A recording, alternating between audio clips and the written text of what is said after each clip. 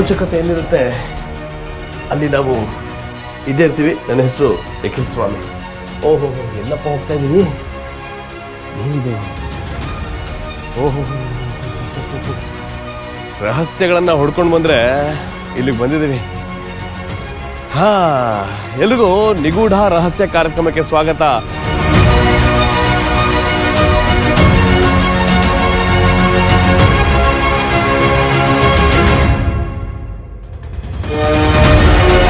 ಪ್ರತಿದಿನ ಹೊಸ ವಿಷಯಗಳನ್ನು ತಿಳಿಸ್ಬೇಕು ಅಂತ ನಮ್ಮ ಇಡೀ ತಂಡ ಹುಡುಕಾಟದಲ್ಲಿರುತ್ತೆ.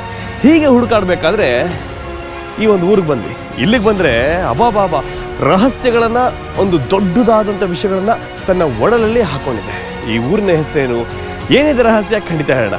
ಸುಮಾರು ಏಳ್ನೂರು ವರ್ಷಕ್ಕೂ ಮುಂಚೆನೆ ಇಲ್ಲಿ ಹನ್ನೆರಡು ದೇವಸ್ಥಾನ ಏಕಕಾಲದಲ್ಲಿ ನಿರ್ಮಾಣ ಆಗಿದೆ. ಆದರೆ ಉಳ್ಕೊಂಡಿರೋದು ಆರು ಮಾತ್ರ. ಇನ್ನೊಂದು ಅರಮನೆ ಇತ್ತು. ಅರಮನೆ ಜಾಗದಲ್ಲಿ ಸ್ಮಶಾನ ಇದೆಯಂತೆ. ಎಲ್ಲವನ್ನ ಹೇಳ್ತೀವಿ. ಅದಕ್ಕೂ ಮುಂಚೆ ಮುಮ್ಮಡಿ ಕೃಷ್ಣರಾಜ ಒಡೆಯರ್ ಅವ್ರಿಗೂ ಈ ದೇವಸ್ಥಾನಕ್ಕೂ ಒಂದು ಅವಿನಾಭಾವ ಸಂಬಂಧ ಇದೆ. ಯಾಕಂದ್ರೆ ಇಲ್ಲಿರುವಂತಹ ಒಂದು ದೇವರನ್ನ ತಗೊಂಡೋಗಿದಾರಂತೆ. ಯಾಕೆ ತಗೊಂಡೋದ್ರು? ಎಲ್ಲನ ಹೇಳ್ತೀವಿ ಈ ಒಂದು ಸಂಚಿಕೆನಲ್ಲಿ. ದಾರಿ ಹೆದ್ದಾರಿಯ ನಡುವೆ ನಿಂತ ಇನ್ನೇನು?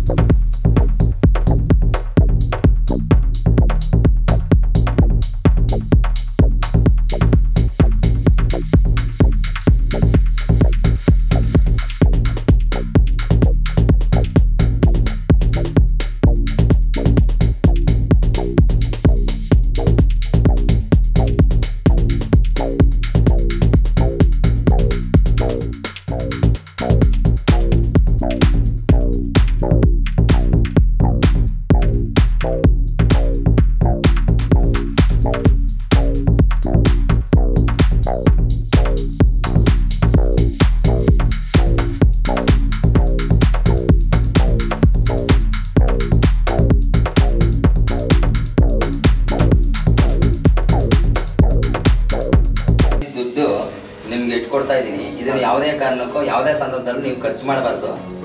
ಇದು ದೇವ್ರ ಪಾತ್ರೆ ಇಟ್ಕೊಟ್ಮೇಲೆ ಇದು ಬೀರಿನಲ್ಲೋ, ಪರ್ಸಲ್ಲೋ, ಎಲ್ಲ ಇಟ್ಕೊಂಡು ಯಾವುದೇ ಕಾರಣಕ್ಕೂ ಇದನ್ನ ಚಲಾವಣೆ ಮಾಡಬಾರ್ದು.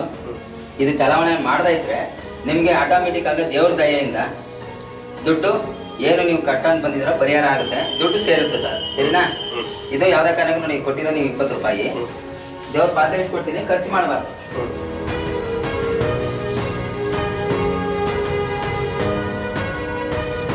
ಪ್ರಾರ್ಥನೆ ಮಾಡ್ಕೊಳ್ಳಿ. ದುಡ್ಡು ನನ್ನ ಕಟ್ಟೆ ಇದೆ. ಏನೋ ಮಾಡಪ್ಪ ಅಂತ.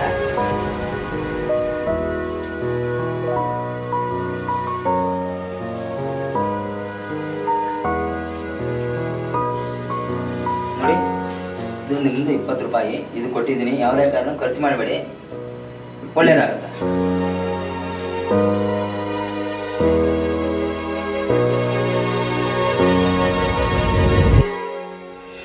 ಇಲ್ಲೂ ಸಹ ಕೇತನೆ ಅಮ್ಮನವ್ರಿಗೆ ಸೆಕ್ಯೂರಿಟಿ ಯಜಮಾನ್ರೆ. ಆಯ್ತಲ್ವಾ? ಮಹಾರಾಜರು ಸುಳ್ಳು ಈಗ ಕೂದಲು ಎಲ್ಲಿ ಬರುತ್ತೆ ಅಂದರೆ ಮಹಾತಾಯಿ ಪೂಜೆ ಮಾಡಿಸಿದ್ರೆ ಜಡಮಡಿ ತೋರಿಸ್ತಾಳೆ ಅಂದ್ಬಿಟ್ರು ಸುಳ್ಳದು. ಆಕಸ್ಮಿಕವಾಗಿ ಜಡಮಡಿ ತೋರಿಸ್ತಾ ಇದ್ದಿದ್ರೆ ಚಿರಚ್ಛೇದನ ಮಾಡ್ತಾ ಇದ್ರು. ಅವ್ರಿಗೆ ಅರ್ಚಕರಿಗೆ ಭಯ ಆಗೋಯ್ತು. ಮಹಾರಾಜರು ಇವರು. ಇವ್ರಿಗೆ ನಾನು ಸುಳ್ಳು ಹೇಳ್ಬಿಟ್ನಲ್ಲ. ನಾ ಅವ್ರ ಹತ್ರ ಸಾಯಕ್ಕಿಂತ ನಾನು ಇನ್ನಿತ್ರ ಹತ್ರ ಸಾಯೋದ್ ಮೇಳು ಈಗ ಮಾರನೇ ದಿವಸ ಬೆಳಗ್ಗೆ ದರ್ಶನ ಆದಾಗ ಪ್ರತ್ಯಕ್ಷ ಆಗೋದು ಹೆಂಗಾಗ್ತಾರೆ ಮಹಾತಾಯಿ? ಅದರಿಂದ ನಾನು ಸುಳ್ಳು ಬರ್ಸ್ಬಿಟ್ಟೆ. ನಾನಿಲ್ಲಿ ಇರೋಕ್ಕೆ ಯೋಗ್ಯನಲ್ಲ.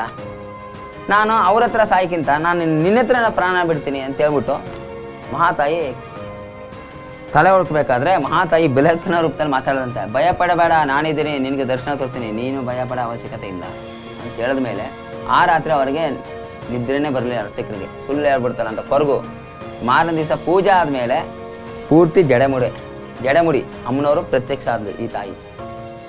ಅದಕ್ಕೆ ಅವರು ಅರ್ಚಕರು ಉಳ್ಕೊಂಡಿದ್ದು. ಇಲ್ಲ ತಿಳಿದಾನೆ ಯಾರೇ ಇದಾದರೂ ಮಹಾರಾಜರಿಗೆ ಸುಳ್ಳು ಅಂತ ಆಗ್ತಿರಲಿಲ್ಲ. ಆ ಕ್ಷಣದಲ್ಲೇ ಯಾರಲ್ಲಿ ಇವನು ಚಿರಚ್ಛೇದನವನ್ನು ಮಾಡಿ ಅಂತ ಹೇಳ್ತಾ ಇದ್ರು. ಅಷ್ಟು ಒಂದು ಪ್ರಾಮುಖ್ಯತೆ. ಲಕ್ಷ್ಮಿ, ನೋಡಿ ಇದು ಇದು ಆನೆ. ನೋಡಿ ಇದು ಆನೆ, ಇದು ದ್ವಾರಪಾಲಕರು. ನೋಡಿ ಈ ಕಡೆ ಆನೆ, ಈ ಕಡೆ ಆನೆ. ನೋಡಿ ತಾವರೆ ಹೂವು. ಕಮಲದ ಹೂವು ಮೇಲೆ ಅಮ್ಮನವರು ಕುಂತಿರೋದು ತುಂಬ ವಿಶೇಷ. ನೋಡಿ, ನಗುಮುಖವಾಗಿದೆ, ಅದೇ ವಿಶೇಷ. ಕೆರಕನಾಂಬಿಯಲ್ಲಿರುವ ಪೆರಿಂದೇವಿ ತಾಯಾರು ತುಪ್ಪ ದೇವಿಯನ್ನು ತಪ್ಪ, ಅಮ್ಮನವರು ಹಳೆಯ ಕಾಲದಿಂದ, ಮಹಾರಾಜರ ಕಾಲದಿಂದ ತುಪ್ಪು ದೀಪ ಹಚ್ಚೋದೇ ತುಂಬ ವಿಶೇಷ. ಇವಾಗಲೂ ಸಹ ಭಕ್ತಾದಿಗಳು ಹಣತೆ ತಂದು ಇಲ್ಲಿ ದೀಪ ಹಚ್ಚುತ್ತಾರೆ ಅದೇ ತುಂಬ ವಿಶೇಷ. ಆಮೇಲೆ ಇನ್ನೊಂದೇನಂತಂದ್ರೆ ಆಕಸ್ಮಿಕವಾಗಿ ಯಾರಿಗಾರು ಗೊತ್ತಿಲ್ಲದೆ, ಯಾರಿಗಾರು ದುಡ್ಡು ಕೊಟ್ಟಿದ್ರೆ ಇಲ್ಲಿ ಒಂದು ಪ್ರಾರ್ಥನೆ ಮಾಡಿಕೊಂಡ್ರೆ. ನಮಗೆ ಆ ದುಡ್ಡು ಕೊಡಂಗೆ ಮಾಡಪ್ಪ ಅಂತ ಕೇಳ್ಕೊಂಡ್ರೆ, ಒಂದು ದೇವರೊಂದು ಪ್ರೇರಣೆ, ಅವ್ರಿಗೆ ಒಳ್ಳೆ ಬುದ್ಧಿ ಕೊಟ್ಟಂಗೆ. ಆ ಕ್ಷಣದಲ್ಲಿ, ದುಡ್ಡು ಬಂದ ಕ್ಷಣದಲ್ಲಿ ಅವಾಗೇನಾಗುತ್ತೆ ಅಯ್ಯೋ, ಅವ್ರಿಗೆ ದುಡ್ಡು ಕೊಟ್ಬಿಡೋಣ, ಅವ್ರಿಗೆ ದುಡ್ಡು ಕೊಟ್ಬಿಡೋಣ, ಅವ್ರ ದುಡ್ಡು ಯಾಕಪ್ಪ ನನಗೆ ಅಂತ ಮನಸ್ಸು ದೇವ್ರು ಕೊಡುತ್ತೆ. ಆ ಕ್ಷಣದಲ್ಲಿ ಕೊಟ್ಟ ಮೇಲೆ ರಿಟರ್ನ್ ತಿರ್ಗಿ ಅದೇ ಬುದ್ಧಿ. ಅಯ್ಯಯ್ಯೋ, ನಾನು ಕೊಟ್ಬ, ಕೊಡಬಾರ್ದಾಯ್ತಲ್ಲ, ಯಾವ, ಯಾವುದೋ ಒಂದು ಬುದ್ಧಿನಲ್ಲಿ ಕೊಟ್ಬಿಟ್ನಲ್ಲ, ಯಾಕೆ ಕೊಡಬಾರ್ದಾಗಿತ್ತು. ಇವನಿಗೆ ಕೊಟ್ಬಿಟ್ಟೆ? ಆ ಒಂದು ಒಳ್ಳೆ ಟೈಮ್ ಬರಬೇಕಾದ್ರೆ ಇವರು. ಇಲ್ಲಿ ಕೇಳ್ಕೊಬೇಕು. ಈ ಥರ ಯಾರಿಗೋ ದುಡ್ಡು ಕೊಟ್ಬಿಟ್ಟಿದ್ದೀನಿ ನನಗೆ ದುಡ್ಡು ಬರಂಗೆ ಮಾಡಪ್ಪ. ನಾವಿಲ್ಲಿ ಕೇಳೋದೇನಂದ್ರೆ ಭಕ್ತಾದಿಗಳನ್ನ ಯಾರೇ ಬಂದರೂ ದೀಪಕ್ಕೆ ಎಣ್ಣೆ ಬತ್ತಿ ಅರ್ಶಿನ ಕುಂಕುಮ ಒಂದು ನಾಲ್ಕರಿಂದ ಐದು ಮಾರು ಹೂವು ಅದನ್ನು ತಂದು ದೇವರಿಗೆ ಇಡಿ. ನೀವು ಹತ್ತು ಸಾವಿರ ಕೊಡಿ ಐದು ಸಾವಿರ ಕೊಡಿ ಐದು ಭಾಗ ಹೆಣ್ಣು ತಣ್ಣಿ ಅಂತ ನಾವು ಯಾವುದೇ ಕಾರಣಕ್ಕೆ ಜನಗಳಿಲ್ಲ. ಯಾಕಂದರೆ ದೇವ್ರ ಸತ್ತ ಆದ್ರಿಂದ ನಾವು ಹೇಳೋದೇನೆ ದೇವರಿಗೆ ದೀಪ ದೇವ್ರಿಗೆ ಸೇರುತ್ತೆ. ದೀಪ ಎಣ್ಣೆ ಬತ್ತಿ ದೇವ್ರಿಗೆ ಸೇರುತ್ತೆ. ಹೂವು ದೇವ್ರಿಗೆ ಸೇರುತ್ತೆ. ಅರಿಶಿನ ಕುಂಕುಮ ದೇವ್ರಿಗೆ ಸೇರುತ್ತೆ. ನಿಮ್ಮ ಒಂದು ಆಸೆನೂ ಈಡೇರುತ್ತೆ. ಈಡೇರಿದ್ದೆ ಈಡೇರುತ್ತೆ. ಇಷ್ಟೇ ನಾವು ಕೇಳೋದು. ಯಾರೇ ಬಂದರೂ ಅದೇ ಕೇಳೋದು. ಸುಮಾರು ಒಂದು ನೂರು ಭಾಗಕ್ಕೆ ಒಂದು ಅವರಿಗೆ ಒಬ್ಬರಿಗೆ ಎಂಟು ಲಕ್ಷ ಅಂತ ಹೇಳಿದ್ರು ಒಬ್ಬರು ಮತ್ತು ಒಬ್ಬರಿಗೆ ಮೂರುವರೆ ಲಕ್ಷ ಕೊಟ್ಟಿದ್ದೀನಿ ಅಂತ ಹೇಳಿದ್ರು. ಮೂರು ಲಕ್ಷ ನಾವು, ಮೂರು ಮುಕ್ಕಾಲು ಲಕ್ಷ ಕೊಟ್ಟಿದ್ದೀನಿ ಅಂತ ಹೇಳಿದ್ರು. ಅದು ಸುಮಾರು ವರ್ಷ, ಇವತ್ತು ನಾಳೆ ಅಂತ ಸತಾಗ್ತಿದ್ದಾರೆ ನಾನು ಬರಲ್ಲ ಅಂತ ಅಂದ್ಕೊಂಡಿದ್ದೀನಿ ನೋಡೋಣ, ಇಲ್ಲಿಗೆ ಬಂದು ದರ್ಶನ ಮಾಡ್ಕೊಂಡು ಹೋದ್ಮೇಲೆ ಏನಾದ್ರು ಕೊಡ್ಬೋದೇನೋ ಅಂತ ಅಂದ್ಕೊಂಡಿದ್ದೀನಿ ಅಂತೇಳಿ ತಿರ್ಗಾ ಅದು ಆಗಿ ಸುಮಾರು ದಿವಸಕ್ಕೇ ಅವ್ರಿಗೆ ದುಡ್ಡು ಕೊಟ್ಟರು ಅವರು ಫೋನ್ ಮಾಡಿದ್ರು, ಈ ಥರ ದುಡ್ಡು ಕೊಟ್ಟಿದ್ದಾರೆ ಸ್ವಾಮಿ, ಬಂದು ದರ್ಶನ ಮಾಡ್ತೀವಿ ಅಂತ. ನಾವು ಹೇಳಿದ್ದೆ ಒಂದು ಅವ್ರ ಹತ್ರ, ಕೃಷ್ಣ, ಕುಂಕುಮ, ಹೂವು, ಎಣ್ಣೆ ತಗೊಂಬಂದು ದೇವಸ್ಥಾನ ಕೊಡಿ ಅಂತ. ಅವರು ಹಂಗೆ ಮಾಡಿದ್ದು. ಒಂದು ಪೂಜೆ ಮಾಡ್ಕೊಂಡು ಐನೂರು ರೂಪಾಯಿ ಇಟ್ಬಿಟ್ಟು ಎರಡು ಕೈಯಲ್ಲಿ ಕೈ ಮುಗಿದ್ಬಿಟ್ಟು ಹೋದರು. ಅಷ್ಟೇ ದೇವ್ರಿಗೆ ಸೇರ್ಬೇಕಾದ ಅದೇ. ನಾವು ಹೇಳೋದು ಅದೇ ಜನಗಳಿಗೆ. ಅರ್ಶಿನ ಕುಂಕುಮ ತೊಗೊಂಬನ್ನಿ, ಎಣ್ಣೆ ತೊಗೊಂಬನ್ನಿ ಅಂತೀವಿ. ಇನ್ಯಾವುದು ನಾವು ಹೇಳಲ್ಲ.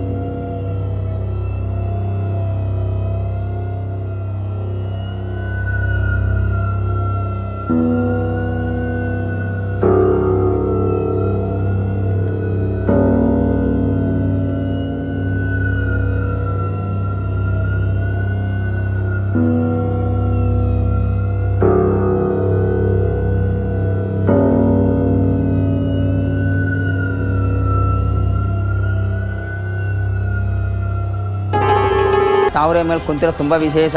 ತೆರಕಣಾಂಬಿಯಲ್ಲಿರುವ ತೆರಿಂದೇವಿ ತಾಯಾರು ತುಪ್ಪದೇವಿಗೆನು ತಪ್ಪಬೇಡ ಅಂತ ಹಮ್ಮನವರು ಗಜಲಕ್ಷ್ಮಿ ಸಹಿತ ತಾವರೆ ಮೇಲೆ ಕುಂತಿರೋ ತುಂಬ ವಿಶೇಷ.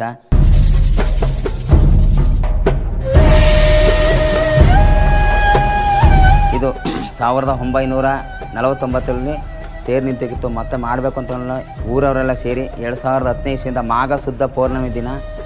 ಎರಡು ಸಾವಿರದ ಹತ್ತನೇ ಇಸ್ವಿಯಿಂದ ತೇರು ನಡೀತಾ ಇದೆ. ಇದು ಎರಡು ಸಾವಿರ ಇಸ್ವಿನಲ್ಲಿ ವೀರೇಂದ್ರ ಹೆಗ್ಡೆ ಅವರು ಇದನ್ನ ಜೀರ್ಣೋದ್ಧಾರ ಮಾಡಿದ್ರು. ಶ್ರೀರಂಗಮಲ್ಲಿ ಹತ್ತು ಸಾವಿರ ಜನ ಶ್ರೀ ವೈಷ್ಣವರು ಧ್ವಂಸ ಮಾಡಿದ ಜಾಗ ಶ್ರೀರಂಗಂ. ಅಲ್ಲಿಂದ ಉತ್ಸುಮೂರ್ತಿ ತಂದು ನಲವತ್ತು ವರ್ಷ ಕಾಲ ಇಟ್ಟಿದ್ದಂಥ ಜಾಗ ಈ ಸ್ವರಂಗ ಮಾರ್ಗದಲ್ಲಿ ಆವಾಗ ಇಲ್ಲಿಂದ ಜಗಳ ಕಡಿಮೆ ಆದ ಮೇಲೆ ಇಲ್ಲಿಂದ ತಗೊಂಡು ಹೋದಾಗ ತಮಿಳಲ್ಲೇ ಇದು ನಮ್ಮ ದೇವರಲ್ಲ ಅಂತ ಕೆಲವರು ವಾದ ಇದನ್ನ ಏನು, ಹೆಂಗೆ ಕಂಡುಹಿಡಿಯೋದು ಅಂತೇಳಿ. ಅಲ್ಲಿ ಹಳೆ ಕಾಲದಿಂದ ದೇವರಿಗೆ ಸೇವೆ ಮಾಡ್ತಾ ಇದ್ರಂತೆ. ವಣ್ಣಾನ್ ಅಂದರೆ ಮಡಿವಾಳದವರು, ಬಟ್ಟೆ ಒಗಿತಾ ಇದ್ರಂತೆ, ದೇವ್ರ ಸೇವೆ ಮಾಡ್ತಾ ಇದ್ರಂತೆ. ಆವಾಗ ಇದನ್ನ ನಾನು ಕಂಡುಹಿಡಿತೀನಿ ಅಂತೇಳಿ ಆ ದಿನ ಪೂಜೆ ಇಟ್ಕೊಂಡು, ಪೂಜೆ ಇಲ್ಲ ಆದಮೇಲೆ ಆ ಬಟ್ಟೆ ವಸ್ತ್ರನ ಹಿಂಡಿದ್ರಂತೆ, ಅದೊಂದು ಸುಗಂಧ ಬತ್ತಂತೆ ಅವ್ರು ತಮಿಳು ಹೇಳಿದ್ರಂತೆ ಇದು ತಾನು ಶ್ರೀರಂಗ ಉತ್ಸುಮೂರ್ತಿ ಇದ್ದಾನೆ ಅಂತ ಹೇಳಿದ್ರೆ ಇದೇ ಸೂ ಶ್ರೀರಂಗ ಉತ್ಸುಮೂರ್ತಿನೇ ಅಲೆ ದೇವರೇ ಅಂತ ಹೇಳಿದ ಮೇಲೆ ಇವತ್ತು ನಾಳೆಗೂ ದೇವರಿಗೆ ಪೂಜೆ ನಡೀತಾ ಇರೋದು. ಅಂಥ ದೇವರಿಗೆ ಜಾಗ ಕೊಟ್ಟಂಥ ದೇವರು ನಮ್ಮ ತೆರಕನಾಂಬಿ ಲಕ್ಷ್ಮೀ ವರದರಾಜರು. ತುಂಬ ವಿಶೇಷ.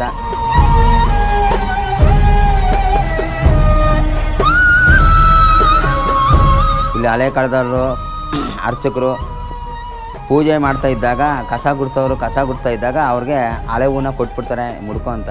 ಆವಾಗ ಸುರಂಗ ಮಾರ್ಗದಿಂದ ಸೈನಿಕರು ಬಂದು ಹೇಳ್ತಾರೆ ಮಹಾರಾಜರು ಬೆಳಗಿನ ಜಾವ ಪೂಜೆಗೆ ಬರ್ತಾರಂತೆ. ಆವಾಗ ರಾಜ ಮರ್ಯಾದೆ ಮಾಡಬೇಕು. ಹೆಂಗೆ ಮಾಡಬೇಕು? ಅಷ್ಟೊತ್ತಲ್ಲಿ ಹೂ ಏನು ಮಾಡೋದು? ನಾನು ಕೊಟ್ಟಿರೋ ಹೂ ಕೊಡು ಅಂತೇಳಿ ಆ ಯಮ್ಮನಿಂದ ಹೂ ಇಸ್ಕೊಂಬಂದು ಈ ತಾಯಿಗೆ ಹಾಕ್ಬಿಡ್ತಾರೆ. ಪೂಜೆ ಮಾಡಿಸಿದ್ಮೇಲೆ, ಮರುದಿನ ಪೂಜೆ ಮಾಡಿಸಿದ್ಮೇಲೆ ಆ ಹೂವಲ್ಲಿ ಅರ್ಚಕರು ಕತ್ತಿಗೆ ಹೂ ಹಾಕಿದ ತಕ್ಷಣ ಮಹಾರಾಜರಿಗೆ ಹೂ ಎತ್ತಿದ ತಕ್ಷಣ ರಾಜರಿಗೆ ಪರಮಾಶ್ಚರ್ಯ ಐತೆ ಏನು ಈ ಹೂವಲ್ಲಿ ಇಷ್ಟು ಕೂದಲು ಇದೆಯಲ್ಲ? ಈ ದೇವ್ರ ವಿಶೇಷ ಏನು ಅಂತ ಕೇಳಿದಾಗ ರಾಜರು ಮಂತ್ರಿ ಕೇಳಿದಾಗ, ಮಂತ್ರಿಗಳು ಅರ್ಚಕರು ಕೇಳಿದಾಗ ಅರ್ಚಕರು ಒಂದು ಸುಳ್ಳು ಹೇಳ್ಬಿಡ್ತಾರೆ. ಪೂಜೆ ಮಾಡಿಸಿದ್ರೆ ಮಹಾತಾಯಿ ಜಡಮಡಿ ತೋರಿಸ್ತಾಳೆ ಅಂತ. ಇದು ಮತ್ತೆ ಪರೀಕ್ಷೆ ಮಾಡಬೇಕಲ್ಲ ಅಂತ ಮತ್ತೇನು ಹೊರಟ್ಬಿಡ್ತಾರೆ. ಮಾಲೆ ನಾಳೆಗೂ ಬರ್ತೀವಿ ಅಂತ. ಆವಾಗ ಈಶಾನ್ಯ ಭಾಗದ ಒಂದು ಬಾವಿ ಇತ್ತು. ಆ ಬಾವಿನಲ್ಲಿ ಸ್ನಾನ ಮಾಡ್ಕೊಂಡು ಮಹಾತಾಯಿ ಮುಂದೆ ಬೇಡ್ಕೋತಾರೆ. ನನ್ನ ನನ್ನ ನಾಲ್ಗೆ ಮೇಲೆ ಸುಳ್ಳು ಬರ್ಸ್ಬಿಟ್ಟೆ. ನಾ ಅವ್ರ ಹತ್ರ ಸಾಯಕ್ಕಿಂತ ನಾನು ನಿನ್ನ ಹತ್ರನೇ ಪ್ರಾಣ ಬಿಡ್ತೀನಿ ಅಂತ ತಲೆ ಹುಡುಕ್ಬೇಕಾದ್ರೆ ಮಹಾತಾಯಿ ಬೆಳಕಿನ ರೂಪದಲ್ಲಿ ಮಾತಾಡೋದ್ರಂತೆ ಭಯ ಪಡಬೇಡ, ನಾನಿದ್ದೀನಿ, ದರ್ಶನ ತೋರಿಸ್ತೀನಿ ಅಂತ.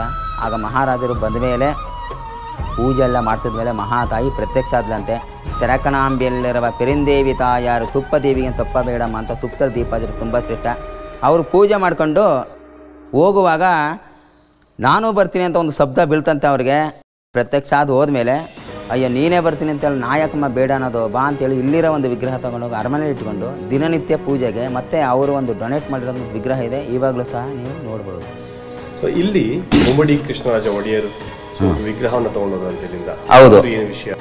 ಅವರು ಮಹಾರಾಜರು ಪೂಜೆ ಮಾಡಿಕೊಂಡು ಹೊರಡುವಾಗ ಅವ್ರಿಗೆ ಆಕಾಶವಾಣಿಯಲ್ಲಿ ಕೇಳ್ತಂತೆ ನನ್ನ ನಾನು ಬರ್ತೀನಿ ನಿನ್ನ ಜೊತೆ ಅಂತ. ಅವರು ನೀನೇ ಬರ್ತೀನಿ ಅಂತ ಹೇಳುವಾಗ ನಾ ಯಾಕಮ್ಮ ಬೇಡ ಅಂತ ಹೇಳೋದು ಬಾ ಅಂತ ಹೇಳಲೇ ಇಲ್ಲಿರೋ ಒಂದು ವಿಗ್ರಹ ತಗೊಂಡು ದಿನನಿತ್ಯ ಪೂಜೆಗೆ ಅರಮನೆಯಲ್ಲಿ ದಿನನಿತ್ಯ ಪೂಜೆಗೆ ಇಟ್ಕೊಂಡ್ರು.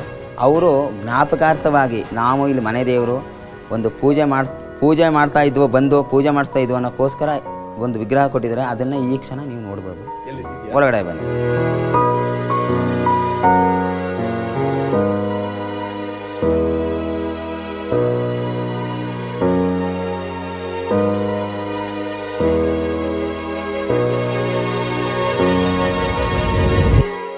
ಇದು ಮಹಾಲಕ್ಷ್ಮಿ ಮುಮ್ಮುಡಿ ಕೃಷ್ಣರಾಜ ಒಟ್ಟಿಗೆ ಕೊಟ್ಟಿರೋದು. ಪ್ರೂಫ್ ಏನು ಅಂದರೆ ನೋಡಿ ಇಲ್ಲಿ ಕೆಳಗಡೆ ಇದೆ. ಸ್ವಲ್ಪ ಬೆಳಕು ಹಿಡಿದ್ರೆ ಕಾಣುತ್ತೆ. ನೋಡಿ ಶ್ರೀ ಶ್ರೀ ಶ್ರೀ ಮಾನ್. ಮಹಾರಾಜ ಮುಮ್ಮೂಡಿ ಶ್ರೀ ಕೃಷ್ಣ ರಾಜ ಒಡೆಯರವರ ಸೇವಾರ್ಥ ಅಂತಿದೆ. ಇದೆ ರಾಜರು ಕೊಟ್ಟಿರೋಕ್ಕೆ ಪ್ರೂಫು ಇದು ಬಿಟ್ಟರೆ ಪ್ರೂಫ್ ಇಲ್ಲ ನೋಡಿ, ಶ್ರೀ ಶ್ರೀ ಶ್ರೀ ಮಾನ್ ಮಹಾರಾಜ ಮುಮ್ಮೂಡಿ ಶ್ರೀ ಕೃಷ್ಣ ರಾಜ ಒಡೆಯರವರ ಸೇವಾರ್ಥ.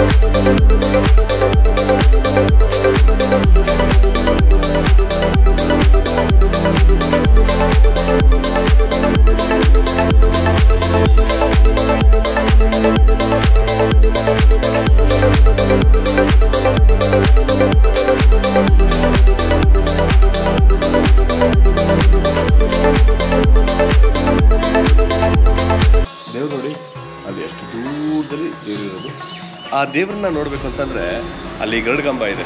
ಸೊ ಆ ಗರುಡಗಂಬದಲ್ಲಿ ಕೂಡ ನಿಂತ್ಕೊಂಡು ನೋಡಬೇಕು. ಸುಮಾರು ಒಂದು ಇನ್ನೂರು ಇನ್ನೂರೈವತ್ತು ಮೀಟರ್ಗಳು ಉದ್ದ ಇರಬಹುದು ಅಲ್ಲಿಂದ ನಿಂತ್ಕೊಂಡು ಕೂಡ ದೇವರ ಒಂದು ದರ್ಶನ ಸಿಗುತ್ತೆ. ಅದು ಇಲ್ಲಿ ತುಂಬ ತುಂಬ ಮುಖ್ಯವಾದಂಥ ಒಂದು ವಿಶೇಷ.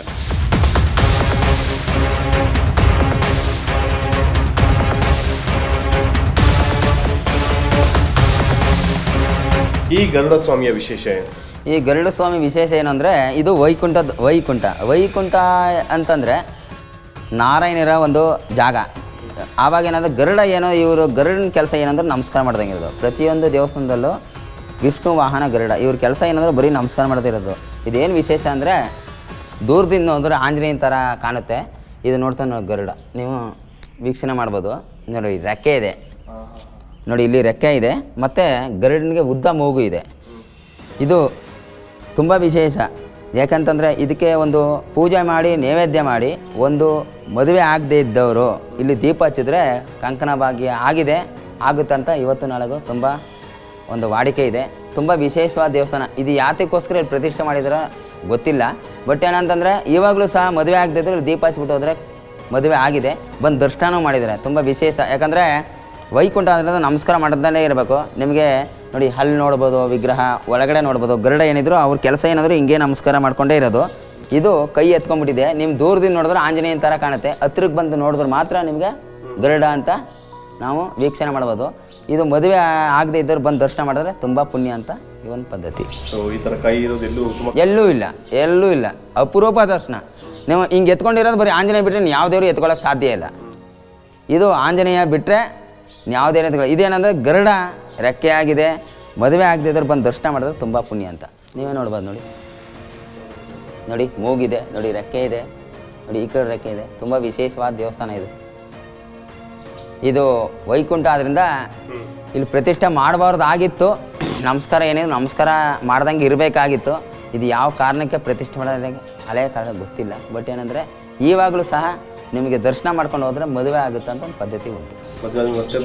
ದೀಪ ಹಚ್ಚಿದ್ರೆ ಮದುವೆ ಆಗಲ್ದಾರ ಬಂದು ಕೇಳ್ಕೊಂಡು ಹೋಗ್ತು ಅಂದ್ರೆ ದೀಪ ಹಚ್ಬಿಟ್ಟಿದ್ರೆ ಮದುವೆ ಆಗುತ್ತೆ. ಮತ್ತೆ ಗಂಟೆ ಅಂತ ಬಂದು ದೀಪ ಹಚ್ಬಿಟ್ಟು ಹೋಗ್ಬೇಕು.